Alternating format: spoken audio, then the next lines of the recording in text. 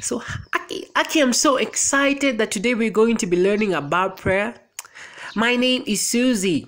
I am Peter's sister. and I am so, so excited that we're going to be learning about prayer. I can't wait for Philip and Peter to get here. Oh, look, here's my brother Peter.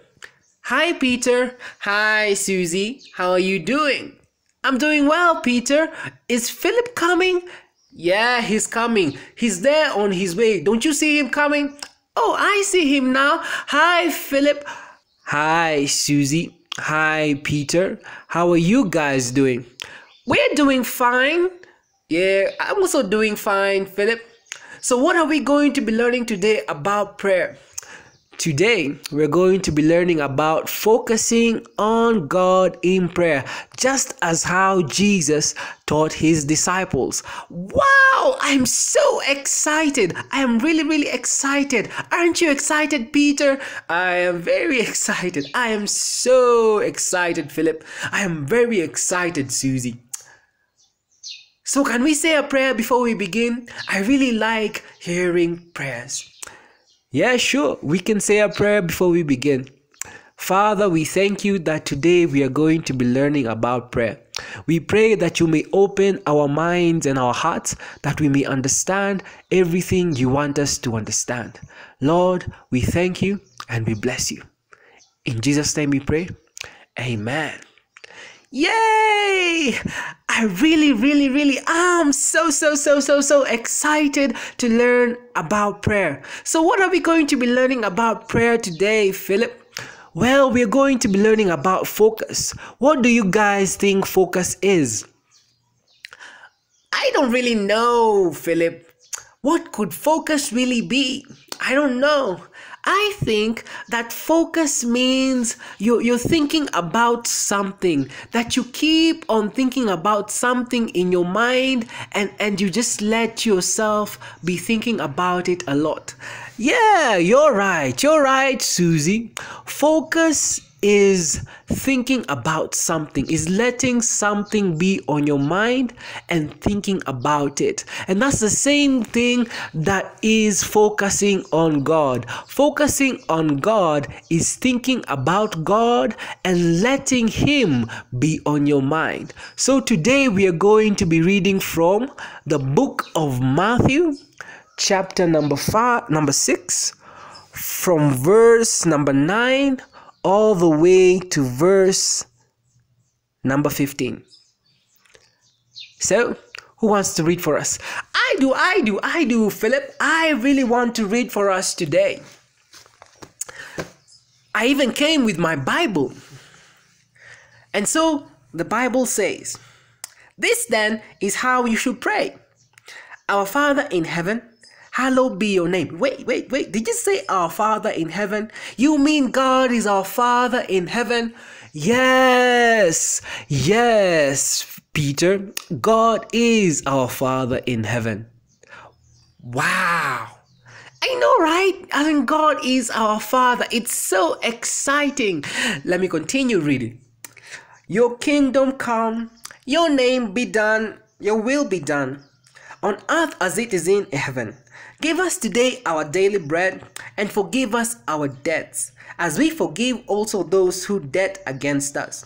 Lead us not into any temptation, but deliver us from evil. For if you forgive other people when they sin against you, your heavenly Father will also forgive you. But if you do not forgive others their sins, your Father will not forgive you your sins. Wow, that's very interesting. Yes, yes, it is very interesting, Peter.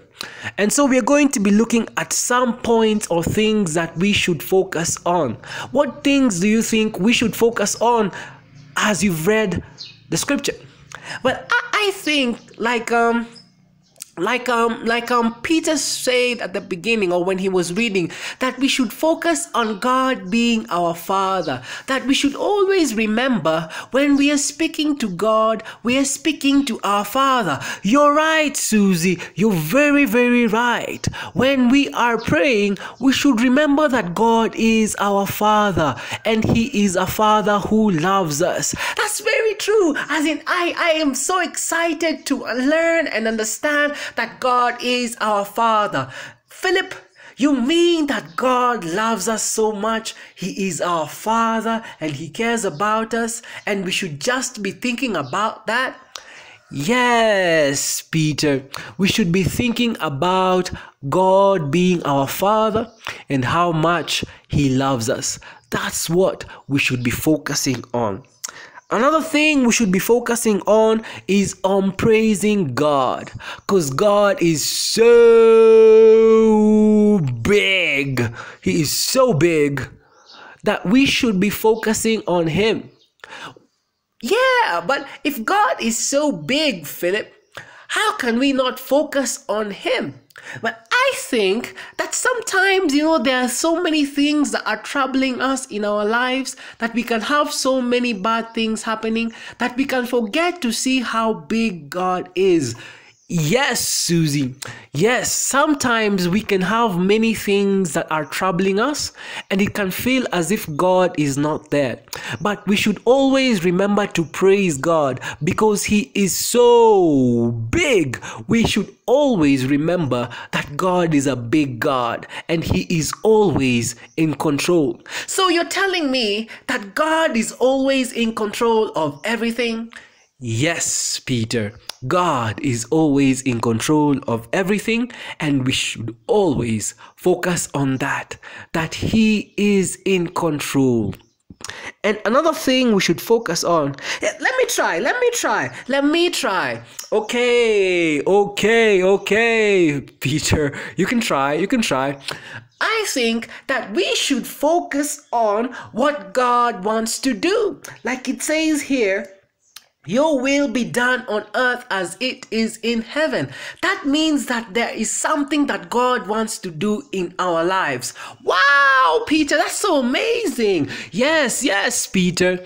God wants to do something in our lives. And we should always, when we talk to God, remember to ask Him or focus on what He wants to do in our lives. Because God has a plan for each and every one one of us, and that is what is called His will.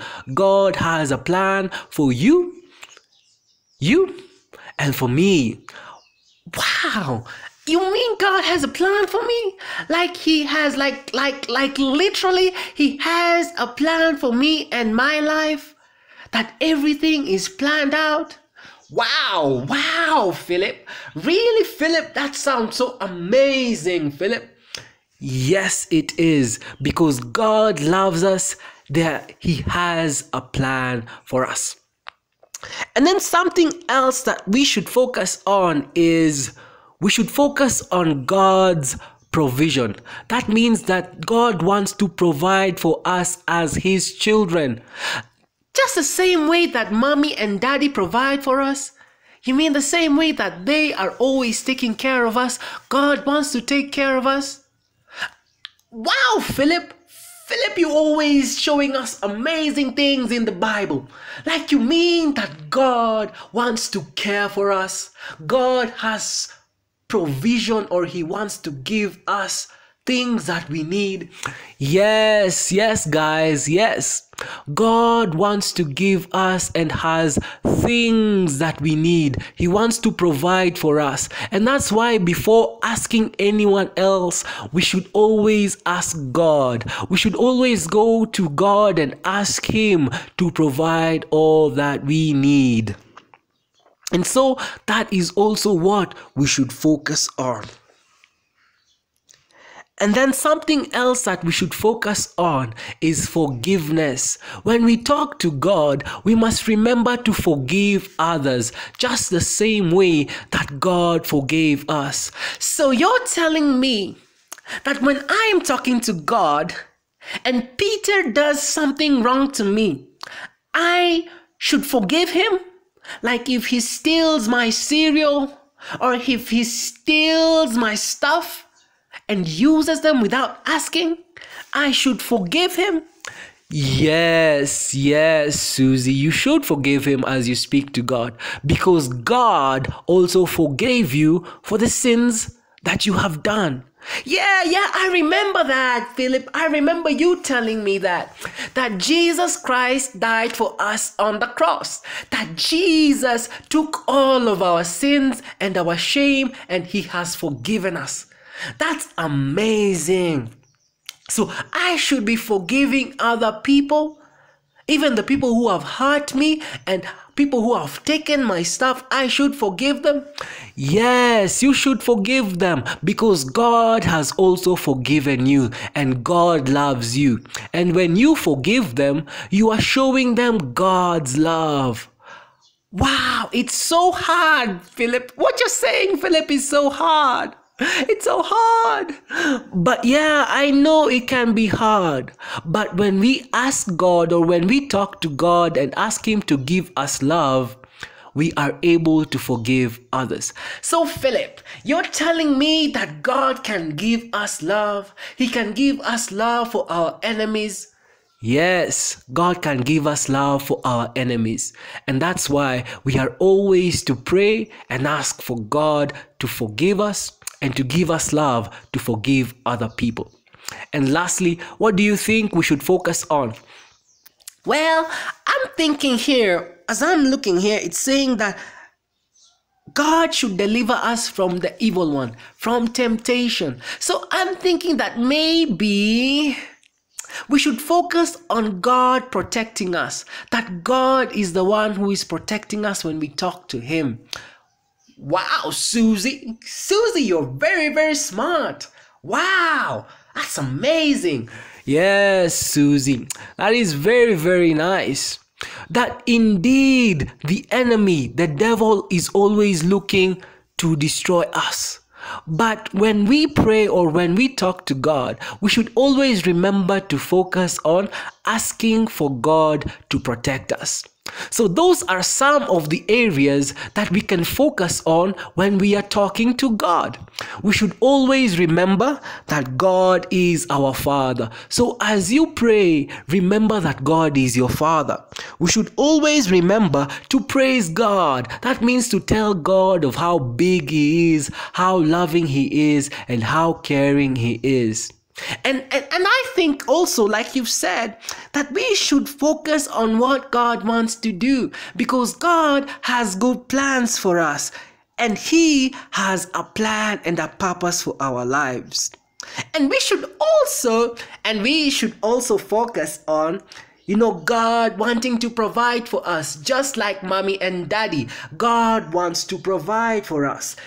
And we should also focus on forgiveness and asking God for protection because God has forgiven us and He loves us. And God wants to protect us from the enemy so that the enemy will never destroy us. So, Philip, is there a song we're going to be listening to today?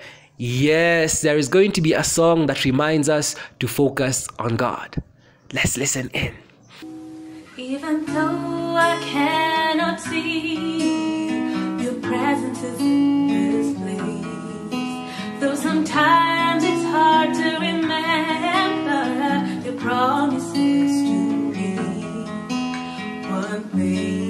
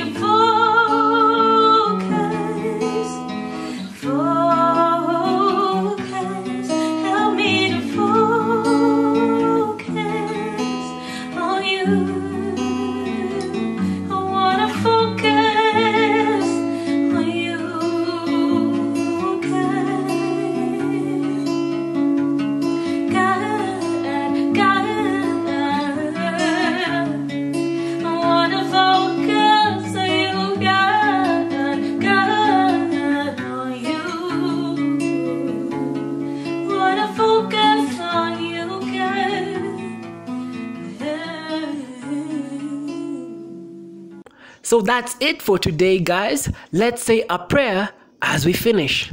Lord, May you help us to focus on you as we talk to you. May we remember, Lord, that we are your children. Lord, always remind us how much you love us and you care for us. Lord, we pray that you will be with us and that you will remind us you are there protecting us and that you have good plans for our lives. Lord, we thank you and we bless you. We pray that you be with us until we meet next time. Goodbye.